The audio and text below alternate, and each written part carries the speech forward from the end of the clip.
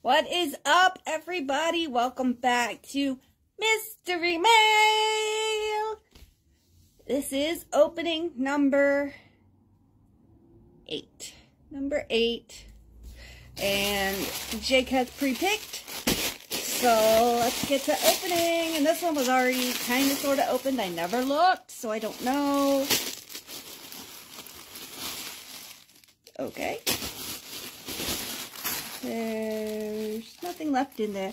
So, okay, first of all, we have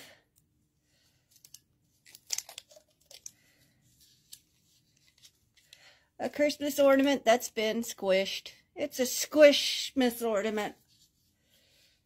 Yeah, there's no, I might be able to squish that out. It's actually kind of cute. It does have purple glitter in it. So I might be able to uh, pop that out. But it's damaged, so not sellable. So it's mine now. Second thing in it is whatever this is. It's cloth of some sort.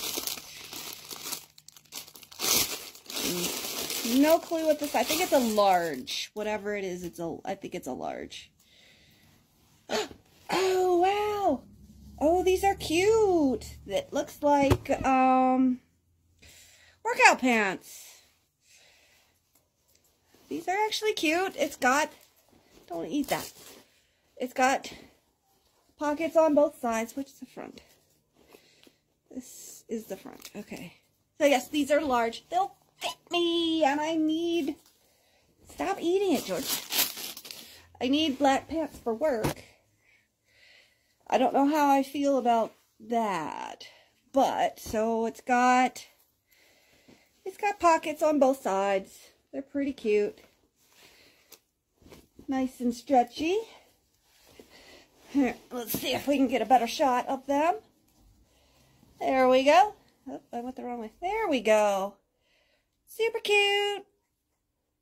Super cute. I'll wear them. I'll use them.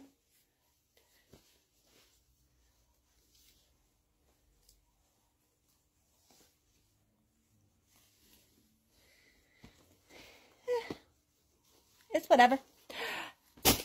Thanks for watching, guys. Have a great one.